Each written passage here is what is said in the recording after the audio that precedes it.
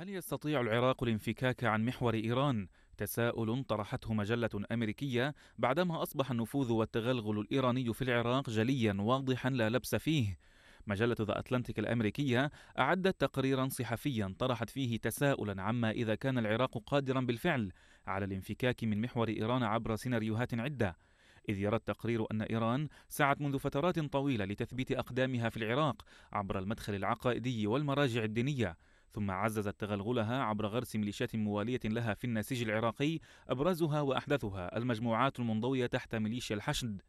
لكن قيودا سياسية وقانونية واجهت هذه الميليشيات كذا رفضا شعبيا واسعا لها وهم اضطرها للتعلق بأحزاب قديمة أو إعادة استنساخ نفسها كحركات اجتماعية ثقافية مثل ميليشيا العصائب التي كونتها إيران بعد عام 2003 لتصبح بعد ذلك مجموعة مسلحة قوية تتمتع بموارد الدولة ومؤسساتها وغطاء منها فيما لا تزال تعمل بشكل مستقل وهو ما فعله تنظيم حزب الله حرفيا في لبنان.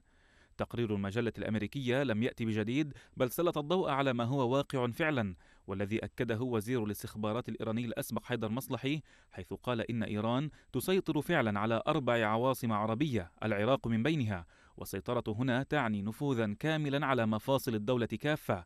وهو نفسه ما قاله إسماعيل قآني نائب قائد ما يسمى فيلق القدس التابع للحرس الثوري الإيراني.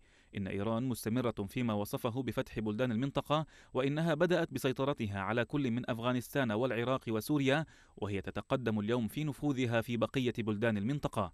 واليوم تستعد إيران لترجمة كل ما ذكر من نفوذ وتغلغل عسكري اكتسبته في زمن الحرب إلى مكاسب سياسية من خلال خوض الانتخابات العراقية المقبلة.